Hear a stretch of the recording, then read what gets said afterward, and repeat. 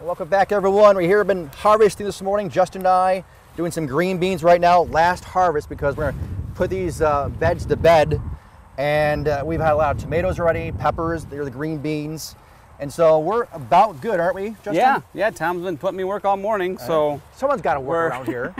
yeah, Yeah. so we're about ready to rip these guys out, don't you think? Yeah, I think so. I think it's time. Okay. We can go ahead and rip the base of them out. Yep.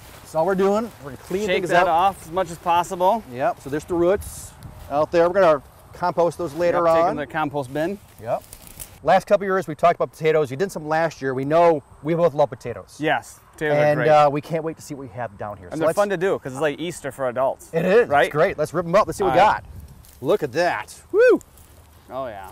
Look at all these. Woo. So if anybody asks if you can grow potatoes in raised beds, it's it was super easy, right? I mean, it didn't take anything at all. No, we planted the the seed potato, and then uh, yeah, let us do its thing. Make sure we water it.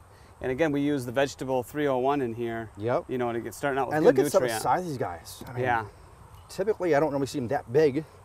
This is great. I'm gonna leave the other ones in here a little bit longer for the Yeah. other plants because there's a couple here that are still loose. And like at my house, when I grow potatoes, I just come out and pick them when I get home from work. Right. And put them right into, you know, whatever meal I'm preparing or cooking that night. That so fresh they stay food. fresh. Yeah, they stay fresh longer in here. You know, so You can't beat that. That's why I'm saying we're gonna take some out, but not all, because if we can keep them going for a couple more weeks, why not, right? Keep them nice and fresh. Go grab some for dinner. Can't beat that any day. Now, so we're kind of in the way of processing this this garden bed, but let's get to the next one Okay. and really close out that one for this year. all right. And uh, this one, again, we already had lots of tomatoes and peppers. Gonna take these guys up here. Just as we did before, they're all been harvested.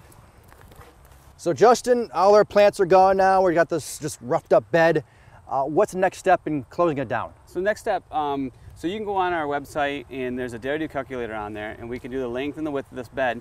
You want to put Dairy Doo down a half inch thick now. You know, Okay. we pulled all that nutrient. out. When we pull all that out, all the nutrient went with it. Yep. So we need to replenish that for next year. Gotcha. The other thing Dairy Doo will also do is all this thatch, and you can see these these roots here and stuff.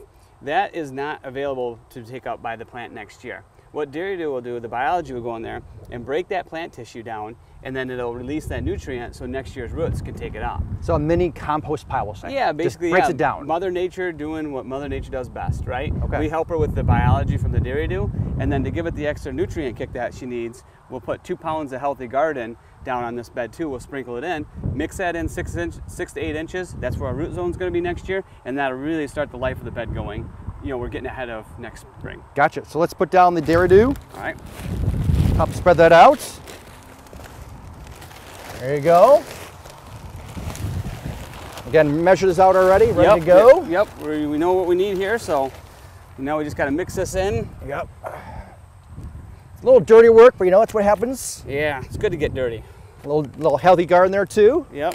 And what's the difference between a vegetable bed and a flower bed? Making close, closing it down for the year. Nothing's different. I would, um, this concept is the same in the soil. So it doesn't matter if you're growing the flower or if you're going uh, the vegetables. So you can do the same concept with, with the flower bed. Sweet. So two pounds, we're gonna use, this is a four pound bag. We offer this in a 25 pound bag if you got a lot of area to cover, or a four pound bag if you got just a few raised beds. awesome.